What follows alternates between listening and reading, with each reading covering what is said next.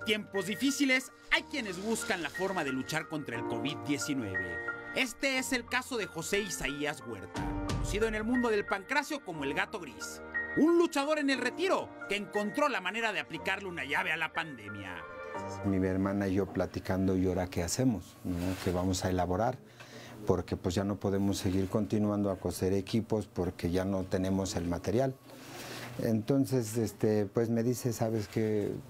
Haz cubrebocas para nosotros, a ver qué vamos a hacer. Todavía le digo a ella, pues este, córtatelos, cóselos, a ver cómo te queda. Y sí, hice uno y los hicimos lisos. Lejos ha quedado aquella noche de 1979 cuando don José Isaías pisó por primera vez un cuadrilátero.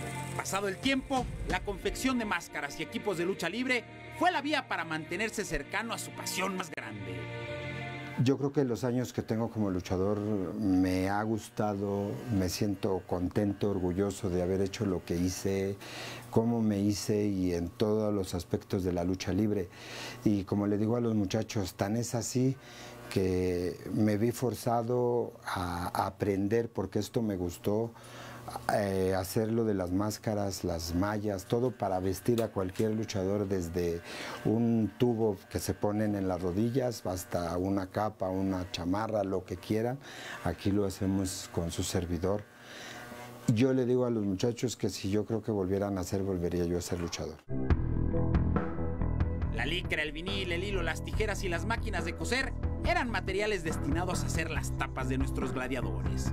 Hoy se han convertido en los elementos para que el gato gris le lleve al aficionado lo que alguna vez transmitió con sus lances en el encordado. Estos cubrebocas nos recuerdan que aún en los momentos más difíciles hay que vibrar con la alegría que nos regalan nuestros héroes de carne y hueso. Viendo la situación de lo que se veía, se nos vino la idea de hacer el cubrebocas y tiene un éxito eh, el cubrebocas. Tal vez no es el cuadro porque todo el mundo puede hacerse un cuadrito de tela y ponérselo en la boca. Yo creo que lo que le llama la atención a la gente es la figura. El detalle de cómo se hace un... semejar al luchador lo más que se pueda en un cubrebocas.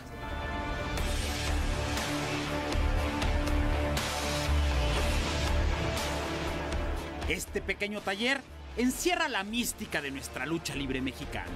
Esa que nos ha enseñado a ir contra la adversidad, a no dejarnos derrotar. Esa que nos ha mostrado el ánimo de salir con la mano en alto, aplicándole una contrallave a la situación actual.